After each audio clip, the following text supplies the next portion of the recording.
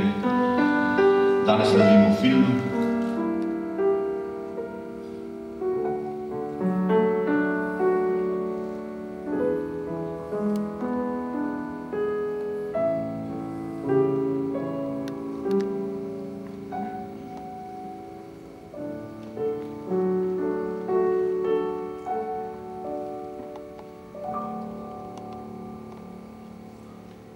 Vem, da ste jih videli dosti že, a ne biti jezdi.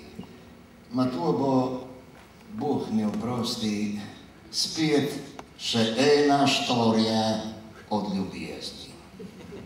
Ma to ni tajšna štorija, kot so vse ostale, od katerih imaš solzne oči, trokirano srce, a na puhne bale. Zato štorijo bi reč se dalo, eh, da ne jueče kar poduličan počres, da povijo ljubezni malo, strašno malo. Toliko, kolikor je ljubezni res. Časovno spada nekam če v stare čase, eh, žanrsko pa med eh, komedije. Čeprav eh, komedija se zvrhceti konča se, a ta tole se zvrhceti šele začne. E, kaj pravijo od poroke, vemo vsi. Nobeni. Da boljše dobro biti obješen, kot slabo poročen. Da tisti, kop se spal s človekom lože, je vrhce za njega grob, če lahko duha svoje lastne rože. E meni se to lažjo. Se je en tanto Bog določa, kad se s kom poroča, ja mu on določa tudi to, kam udari strela, a kam pade toča. Eni pravijo spet, eh, da se reče zmerami pri tisti hiši, če boš bolj slabo vidi, a žena slabo sliši. In pravijo tudi, da resnica je kraljica srečnega zakona. Čeprav, no meč klahat, pa je tudi ne more biti tak grih. Sej vse življenje meč klahala, nono tu je naša nona. En tanto, kada razmislim se njih dveh, vem, da pravo ljubezen v življenju da se najo.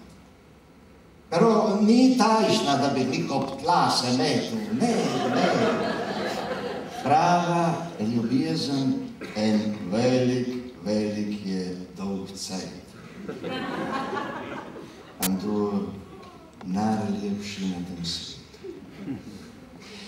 Od tajšnih ljubezni pisatelji ne pišejo romane. Hmm. Eno tajšnji štori, ki jo boste videli zdaj, ponavadi nič, prav nič ne ostane. Ma zaradi tajšnjih štori gre ta svet naprej.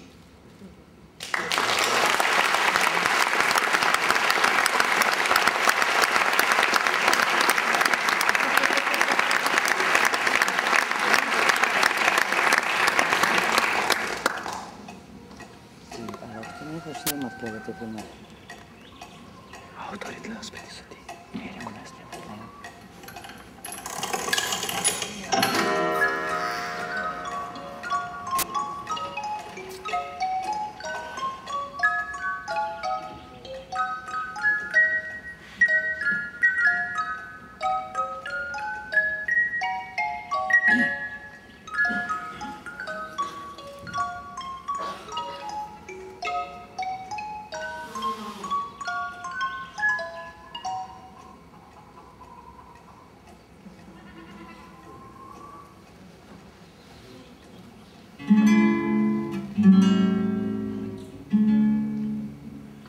Naš nono je našu nonu spoznal na pljesu.